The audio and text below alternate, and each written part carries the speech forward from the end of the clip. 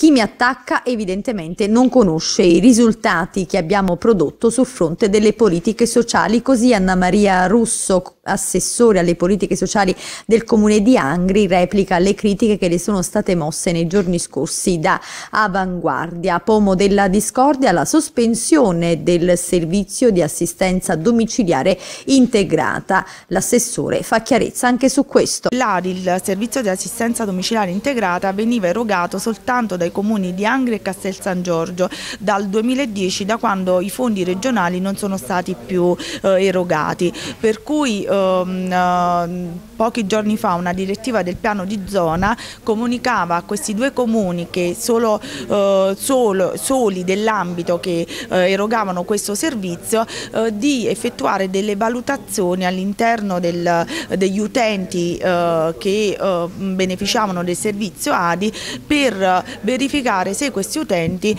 potevano far parte dell'UVI. Nel momento in cui, perché nel caso in cui gli utenti che usufruivano dell'ADI facevano parte dell'UVI potevano,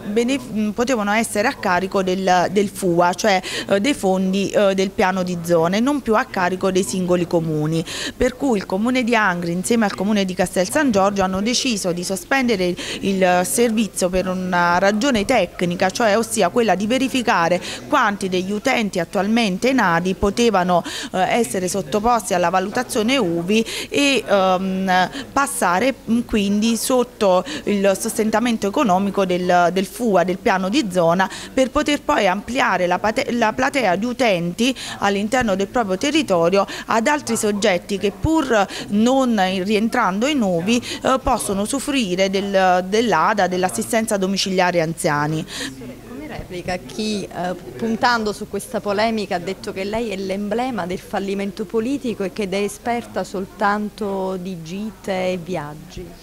In realtà ehm, chi ha detto questo penso che eh, non sia a conoscenza di tutti i servizi erogati sul territorio oppure che non, interessa i servizi, eh, non interessano i servizi che noi eroghiamo soprattutto nei confronti delle fasce più deboli eh, o non hanno idea di chi siano le fasce più deboli perché eh, se rendere servizi ad anziani, a bambini eh, e a persone bisognose eh, non è eh, dare aiuto alle fasce più deboli, evidentemente hanno un po' di confusione in testa queste persone che hanno eh, detto del fallimento della politica anglese. Eh, L'amministrazione Mauri si è sempre dedicata alle fasce più deboli e non sono le parole che lo dicono ma sono i fatti, eh, a pensare sia dal, dall'assistenza sociosanitaria eh, che nel 2010 eh, il comune erogava per questo tipo di assistenza e la partecipazione del comune